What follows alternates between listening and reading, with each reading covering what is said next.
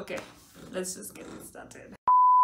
Hello, this is the booktube newbie tag. Booktube is the part of YouTube where people talk about books. Why does everything have to have a name? Anyway, so this is a list of 10 questions. Some of them I've looked through, some of them I've really not. So, yeah.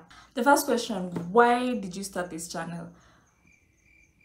This feels like the Inquisition. Do I really have to answer this? I think the main reason I started was because I want to be able to capture my reaction, my initial reaction to the books I read, because I feel like I forget everything. Like all the time someone has mentioned a book and I'm like, I've read that.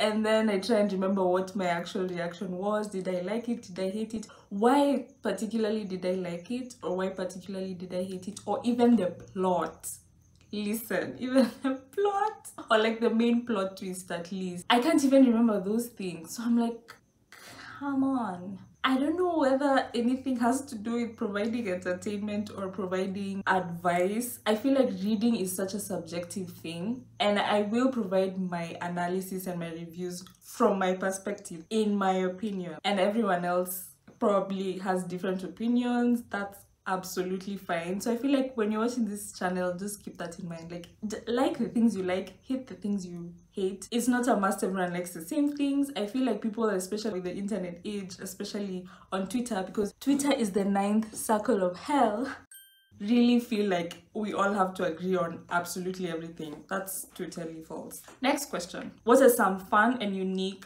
things you can bring to booktube now these are the questions that make me nervous is this an interview? Is this a job interview? Because I wasn't prepared. No one told me I had to bring my CV. What? I feel like the only thing I can say I can bring to BookTube is myself and my personality and my this. I don't know. We'll see. We'll determine together what exactly it is I'm bringing to BookTube. Hopefully it's books that are not talked about often i feel like booktube is full of booktube all usually fixates on the same books. Like a book will come out and everyone is talking about it. I will have those moments definitely but i feel like i will also be covering mostly other things. I'll be covering a lot of comics and manga and manhwa and other stuff because that's all reading. By the way that's a conversation for another day but it's literally called a comic book. Hello it's a book. You are reading. You are valid. The third question, what are you most excited for about this new channel? I feel like I don't see a lot of African booktubers. I mean, maybe I'm just in my own corner of YouTube, probably I am. But a lot of African, like the very successful African channels I've seen are story time or family vlogs or just generally vlogging. Yeah, I feel like I don't see anyone talking about books, like exclusively talking about books yeah, that's what I'm excited about, just talking about books from my perspective. Something else I should have mentioned on why I started this channel, this is me not being able to stick to anything, this is not a surprise, is that I want to read a wider variety of books. I also want to start reading more African books. The only reason I don't do that too much, I do, but not too much, is mostly because I feel most of them are contemporary and I don't really read a lot of that genre. Like I haven't even read The Fault in Our Stars or watched the movie. Is that a, I'm not even sure if it's a contemporary, it's a contemporary in my head. It's a contemporary novel, so let's not let's not argue about this. I am proving a point. Let me live. That's another answer to question one.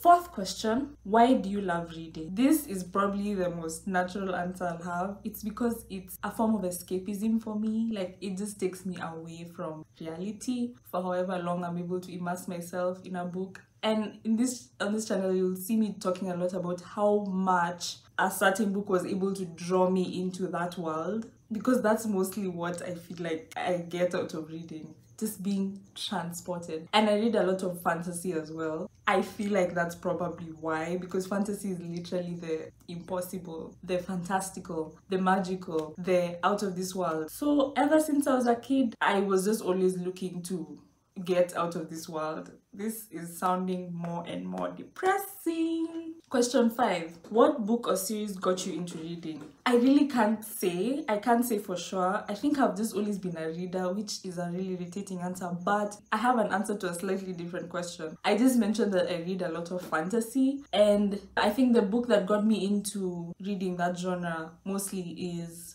The Chronicles of Narnia. The Chronicles of Narnia was a book I got when I was about 11 this is what class 5 grade 5 what are they calling it now i have no idea of the school system that's going on so i was in class 5 when i got the series and I bought it at Nakumatt. I'll never forget. I was with my mom and I bought it at Nakumatt and the guy at the, the teller when we were checking out our stuff was like, this is for you. Cause it's a it's a series of seven books. How many books are there? Seven. I'm just gonna say seven and I'm gonna stick with that. If I'm rewriting history, I've rewritten history. But it's and I bought it was a, a, box set, so it was all of them at once in like this thing. That was my first series of books that was like, yes, this is what I want to invest my time in. Of course I read other genres, but that's the book that I can really remember pivoting my reading habits and reading lifestyle. Question six. What questions would you ask your favorite booktubers? I have no idea, honestly. Maybe I just ask them like, why do you all do the same things? okay, I get it. It's because the book has just come out. Everyone wants to know what that book is about. Everyone wants to know what their favorite booktubers think of the book. So they have to make those videos. But